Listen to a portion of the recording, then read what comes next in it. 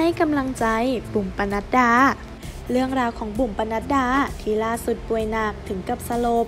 หามส่งโรงพยาบาล อาการน่าเป็นห่วงมาก เรื่องราวจะเป็นอย่างไรนั้น ไปรับชมพร้อม ๆ กันเลยค่ะ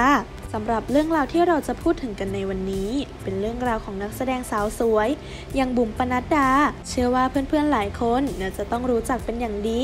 พราะต้องบอกเลยว่า เธอนั้นเป็นนักแสดงที่มีชื่อเสียงโด่งดังอย่างมาก ซึ่งทางด้านบุ๋ม เธอนั้นก็โลดแล่นอยู่ในวงการบันเทิงมาอย่างยาวนาน และในขณะที่เธอนั้นได้โลดแล่นอยู่ในวงการบันเทิง เธอก็ได้สร้างชื่อเสียงและผลงานของเธอออกมาให้แฟนๆ ได้รับชมกันอย่างมากมาย